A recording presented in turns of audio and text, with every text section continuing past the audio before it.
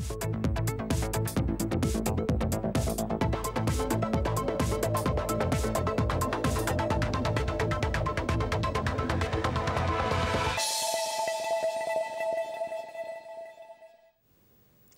эфіры праграма навіны рэгіёна ў студыі Кацярына Градніцкая. Вітаю вас і сёння ў выпуску глядзіце. Ці зможа картка навучэнца замяніць даведку ў грамадскім транспарце, інфармацыйныя тэхналогіі ў паўсядзённым жыцці. Любуюсь всегда этими работами с удовольствием. Несумная выстава, роспіс па тканіне, сотні работ. Дажджы і пацяплення пра кастрычнік мяркуюць сіноптыкі.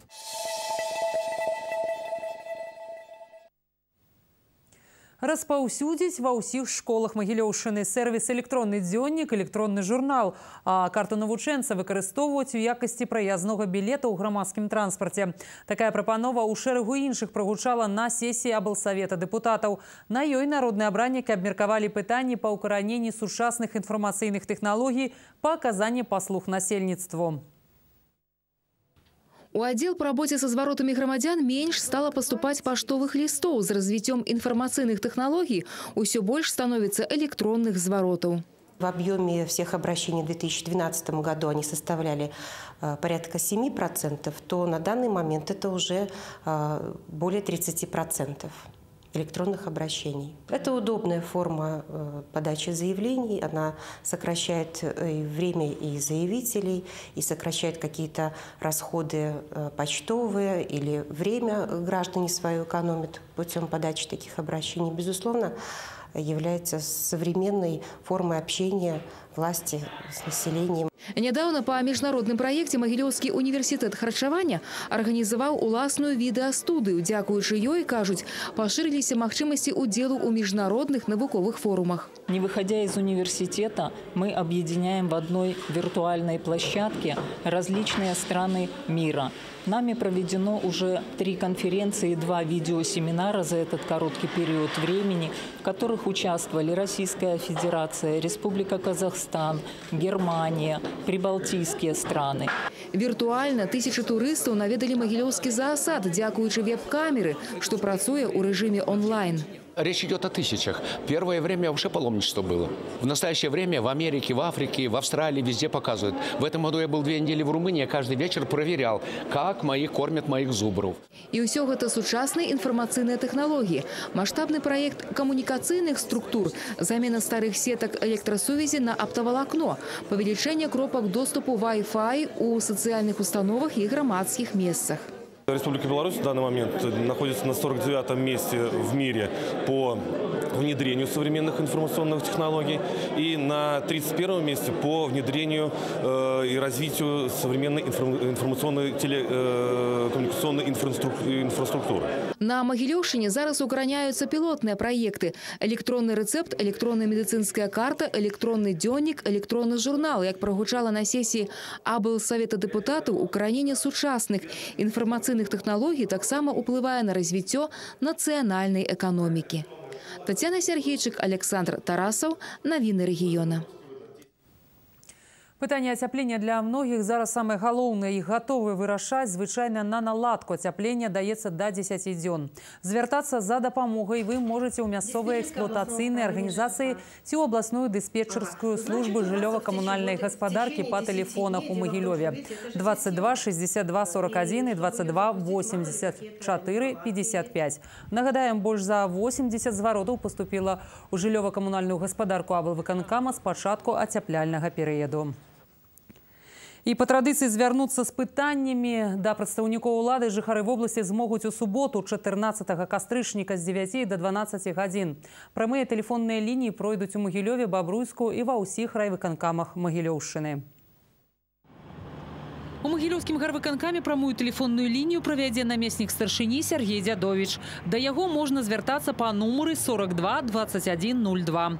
У гэты ж час вашы пытанні чакае першы намеснік старшыні бабруйскага гарвыканкама Олег Ковель. Нумар тэлефона ў бабруйску 76 21 41. А вось прамую тэлефонную лінію ў магілёўскім аблвыканкаме гэтым разам правядзе першы намеснік старшыні Олег Чыкіда. Тэма для звароту аграпрамысловы комплекс, вытворчасць і перапрацоўка сельгасгаспадарчай прадукцыі. Лясная гаспадарка, геадэзія, ахова навакольнага асяроддзя. Нумар тэлефона ў Магілёве 50 18 69. На 22 цэнтнеры павялічылася ўраджайнасць бульбы ў магілёўскай вобласці. У сярэднім сёлета з аднаго гектара аграрый збіраюць 288 цэнтнераў, паведамілі ў аблсельгасхаршы. Найлепшая ўраджайнасць у саўгасе дабраволі з клічаўскага раёна больш за 380 цэнтнераў. У городскім, кіроўскім, краснапольскім, крычаўскім, а таксама ў мсціслаўскім і чэрыкаўскім раёнах уборку другога хлеба завяршылі. Увогуле па вобласці ўбрана 86% плошчаў маглі б завяршыць і хутчэй, кажуць аграрыі. Аднак работу стрымліваюць дажджы. Сёлета бульбы пасадзілі менш, прыкладна на 400 гектараў. Гэта звязана з попытам на другі хлеб. Апошнім часам ён знізіўся. Таму гаспадаркі, дзе няма сучасных бульбасховішчаў, паменшылі пасяўныя плошчы пад гэту культуру. А вось перавагу аддаюць айчынным гатункам. Амаль 98% плошчаў занята бульбай менавіта айчыннай селекцыі. І, дарэчы, умовы для сельгасработ зараз складаныя, гавораць у абласным гідраметэцэнтры. Першая дэкада кастрычніка выдалася вельмі дажлівай. Выпала ад двух да чатырох дэкадных нормаў ападкаў. І таму верхні гарызонт глебы зусім вільготны. А вось умовы надвор'я для азімых задавальняюць аграрыяў. Дажы апошніх дзён характарызуюцца як павольныя. За суткі па вобласці выпала ўсяго больш за 6 мм ападкаў, а па поўначы ўвогуле 2 мм. Дарэчы, па мокрых сутках метэаролагі не мяркуюць пра месяц, якім будзе па вільготнасці падсумуюць у канцы. За першую дэкаду выпала аж 270% ападкаў.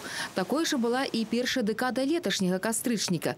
Затое потым надвор'е было сухім сухім, што да бліжэйшага часу на большай тэрыторыі вобласці прагназуюцца дажджы. У суботу кароткачасовыя, затое ў нядзелю пацяплее да 15 градусаў. Мужчыну, які падазраецца ў крадзяжы у асабліва буйным памеры затрымалі ў магілёве аператыўнікі крымінальнага вышуку. Паводле інфармацыі міліцыі яшчэ ў пачатку года той вынес кватэры свайго наймальніка 65 тысяч долараў, 2,5 мільёны расійскіх рублёў і 1200 кітайскіх юаняў. Праваахоўнікі ўзгадваюць, як у студзені ў міліцыю паступіла адразу чатыры заявы ад прадпрымальнікаў, прычым знаёмых паміж сабой. Кожны з іх сцвярджаў з кватэры па вуліцы Вавілава скрадзены іх агульныя грошы.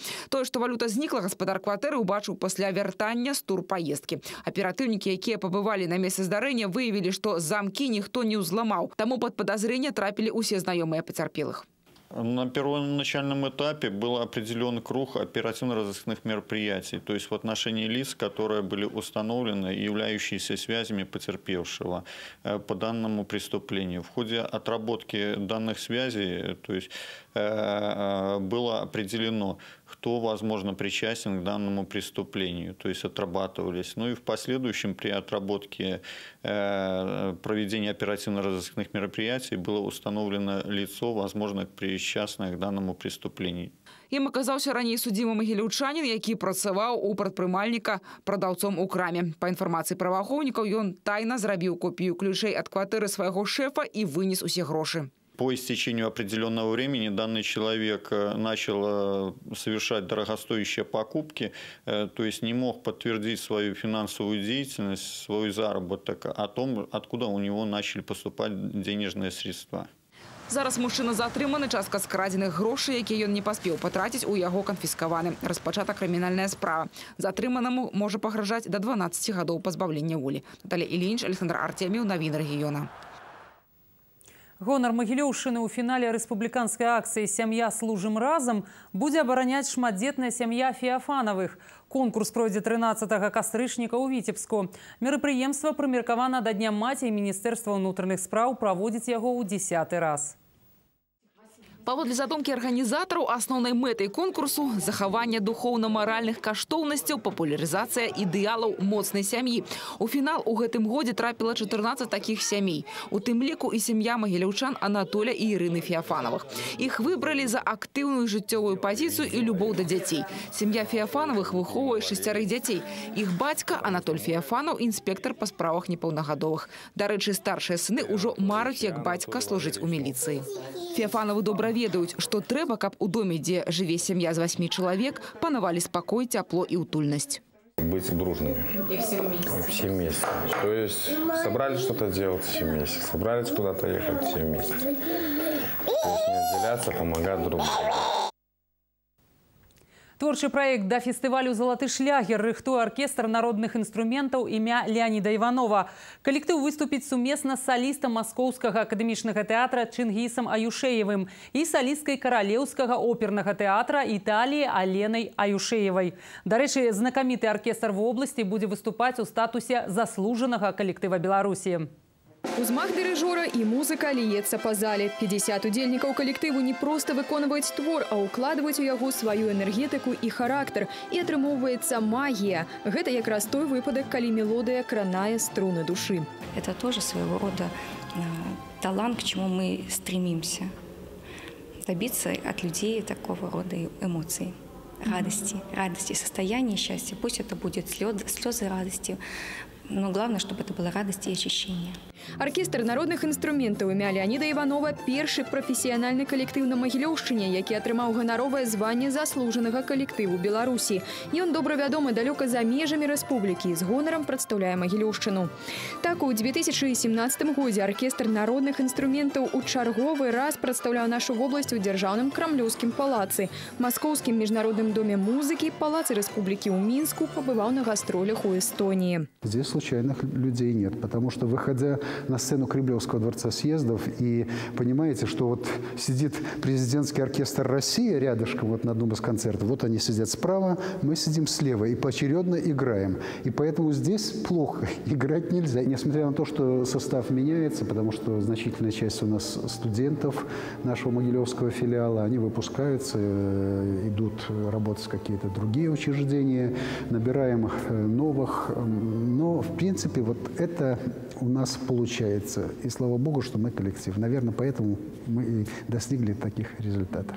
На лето заслуженнаму калектыву спаўняецца 20 год і ў аркестра народных інструментаў шмат планаў рэалізацыі творчага патэнцыялу. Крысціна Кранкевіч, Александр Тарасаў, навіны рэгіёна. Выстава неверагоднага настрою менавіта так, такія водгукі наведвальнікаў экспазіцыі ў зале па вуліцы Болдзіна. Сваю персанальную выставу прадставіў тут Валерый Плаксін. Гэта каля сотні работ, якія выкананы ў тэхніцы роспісу па тканіне. Валерый Плаксин расписывае тканіну ў тэхніцы сублімацыі. Больш за 30 год майстар працаваў на адным з буйнейшых прадпрыемстваў в области. І за гэты час Валерый стварыў больш за тысячу малюнкаў дызайну для тканіны і больш за паўтысячы унікальных карцін для уласнай калекцыі. На выставе толькі пятая яе частка. Они, конечно, разнообразны. Темы единой на этой выставке нет. Потому что я хотел как-то разнообразнить выставку и показать, ну, что у меня есть за душой. Выстава подзелена на пять частак. У кожнай свой напрамак. Один з самых цікавых для самого Валерия присвечены японскому мастаку Кацусика Хакусай. Я был в Японии лет 15 тому назад. Я просто поразился, влюбился в этого художника. Я сейчас только о нем и думаю. Великолепный художник, говорю. А самое главное, это острота э, его изображения. То есть вот этой технике нельзя ошибиться. Одно движение кистью и все Яшчэ одна тэма выставы расліны кветкі прычым мастак прызнаецца што малюе іх толькі па натхненні без натуры я всегда любуюсь любуюсь всегда этими работами и конечно бы э, с удовольствием может быть даже приобрету такую картину очень ярко очень красиво очень выразительно с большим хорошим настроением очень положительные эмоции все вызывает а вы хотели бы иметь что-нибудь из этой коллекции себя дома да, это мой стиль. Мне нравится. Интересно, необычно. Радует то, что действительно действительно не копирует кого-то, что-то, а высказывает свое мнение. Это очень важно в нашей жизни. Высказать свое мнение через данного рода работы. Геаметрычныя формы, насычаныя фарбы, абстракцыя, філасофскія разважанні. Усё гэта таксама ў творах мастака. А сапраўдную свабоду, кажа Валерый Плаксін, яму даюць работы ў авангардным стылі. Андрей Шуляк, Алена Мельшанкова, Віталій Алексеенко. Навіны рэгіёна. Усе навіны пра жыццё в области на нашым сайце tvr.могилёў.бай. А я з вами развітваюся. Да сустрэчы.